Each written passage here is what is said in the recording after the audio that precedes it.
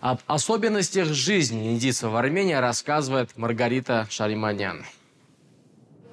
Акаш Панну родом из маленького индийского города Колтрохатек, что рядом с Дели. Вуз он выбирал долго, советовался с друзьями и знакомыми. Uh, Мне реально понравилась программа этого университета. Я ожидал, что университет будет достойным, так как история медицинского университета Армении насчитывает более ста лет. И да, я действительно был удовлетворен при переезде. Армения стала почти родной для студента из Индии. Понравилась культура и люди. Я путешествовал по Армении. В прошлом году мой рекорд достиг 7200 километров пеших походов с помощью университета и индийского посольства. Я видел Армению в самом простом обличии. И я люблю это место. Оно мирное. Мне нравится ездить на велосипеде. Мы ездим в прекрасный Дилижанский лес. Ездим к озеру Севан. Я чувствую себя здесь как дома. И я люблю это место. Изначально Аакаш приехал только на учебу, чтобы затем вернуться на родину. Однако сейчас уже сомневается и задумывается о том, что не надо спешить с возвращением. Благо, семья оказалась не против. Они всегда поддерживают, где бы я ни решил жить. Я хочу вернуться в Индию через некоторое время. Я хочу остаться здесь еще чуть-чуть, потому что эта страна мне многое дала. Многое дала Армения и прекрасной женщине по имени Сантош Кумари Арора. Но и она дала этой стране немало. Ани, Анахид, Хайк, Типичные армянские имена, которые перечисляет Сантош Кумари, это имена ее детей, которые считают себя истинными армянами. Даже при возможности получить индийский паспорт они выбрали армянский, а двое сыновей служили в армянской армии. Но, ребята, я вам скажу, что зло мы, а если ушло на совсем, то почему мы сжигаем каждый год это съем?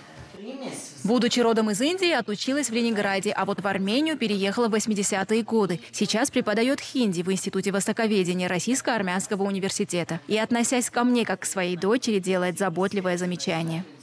Маргарита Джан, простите, просто так нельзя сидеть. Это неправильно. Вы таким образом, когда вы так садитесь, да, нужно так, чтобы заземление было, чтобы обе ноги э, к земле соприкасались. Почему? Потому что, когда вы так садитесь, вы скрещиваете ваши энергии и приглашаете болезни. Про свой переезд и знакомство с армянами вспоминает с улыбкой. Все, э, кто меня видели, встречали, все они говорили про Радж Капура, фильм, о фильмах индийских, которые они под несколько раз смотрели, и многие из них э, пели песни на хинди, правда, не очень правильно произношение было. Всегда говорю, вы знаете Радж Капура, вы видели Радж Капура? Я говорю, я знаю, но не видела. Вот я, например, мясо не ем, да? И когда мне говорили хаш кушай или толму кушай, для меня было трудно. И э, теперь они с удовольствием кушают мои блюда. Сандош Кумари говорит, что обнаружила очень много общего между индийцами и армянами. Именно поэтому между нами не может быть межнациональных проблем. Армяне, когда гость приходит домой, э, все, что за душой есть, все выставляют на стол, да? Потом, может быть, это боком обойдется, но все равно они выставляют. Но а, это же есть у индийцев. У нас двери не принято закрывать. И есть такое поверье, что гость от Бога. Каждое ее напутствие – это размышление о человечестве, которое, по ее словам, позабыло об истинных ценностях. И сразу осознаешь, что студенты на лекциях Сантош Кумари получают не только знания по предмету, но и нечто более важное. Я чуть-чуть по-армянски скажу. Медин лесок, вот как харин чидипчи. Учитель в Индии называется гуру. Гуру, который показывает дорогу к Богу. Гуру бина гати нахи, на хинди говорят. Без гуру нету этого освобождения. Рауль Сетхи уже пять лет координирует работу иностранных студентов в медицинском университете. Индиец по национальности, он уже давно считает родными страну, в которой живет, и вуз, в котором работает. Между армянами и индийцами много общего. Особенно это выражается в уважении к старшим и к семье. Возможно, причина схожести наших менталитетов и в том, что наш народ много веков назад прошел из Персии через Армению и добрался до Индии. По его словам, к иностранным студентам здесь относятся с большой заботой, еще до прибытия в Армению. Обговаривается все вплоть до того, какую одежду взять с собой. Большой плюс армян в том, что они хорошо понимают всех иностранцев. Мы здесь не чувствуем себя чужими. Мы чувствуем себя в безопасности. Армянин может обидеть армянина, но иностранца никогда.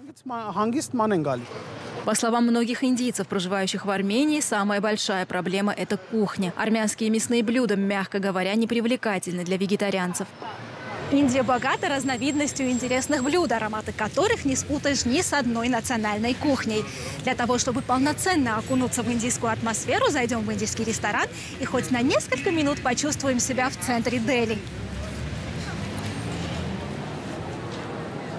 Ресторан существует уже 26 лет, и, по словам директора, первые 10 лет работали с убытком, поскольку тогда в Армении не было так много туристов.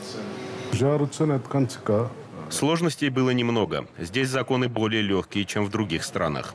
Индийская кухня специфичная и была не очень популярна в Армении. Но я хочу, чтобы все армяне полюбили ее. У нас уже есть постоянные посетители. За приготовлением экзотических блюд повар Лахман Синг рассказал, что очень много армян и российских туристов стали посещать ресторан в последнее время. Индийская кухня покоряет сердца. Um, this one, water. Here? Yes, all. Не знаю, насколько у меня получается, но я стараюсь. Основные посетители, конечно, индийцы, арабы и другие иностранцы. Но стоит раз попробовать, и армяне становятся постоянными посетителями. По словам Лахмана, после изобилия приправ в индийских блюдах армянские кажутся безвкусными. Но нужно просто привыкнуть, наверное, так же, как и к чужой стране. Здесь очень легко работать. Люди и атмосфера приятные. Мне здесь нравится. В исторических источниках существует множество упоминаний о торговых отношениях Армении с Индией, начиная с 7-8 веков нашей эры. И сегодня страны продолжают свое многовековое сотрудничество. Несколько раз в год в Ереване проходят выставки, ярмарки индийских товаров, которые так полюбились армянам. Сотрудничают кинокомпании и культурно-деловые центры. Как говорит Сантош Кумари, не кожу мы любим, а работу.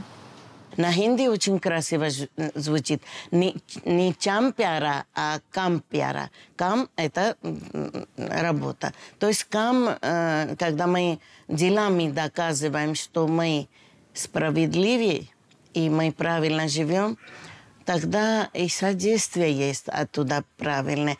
То есть мы должны сажать правильные семена и мыслями, и словами, и работой своей. Дежурные по Еревану. Маргарита Шариманян, Арман Караджан.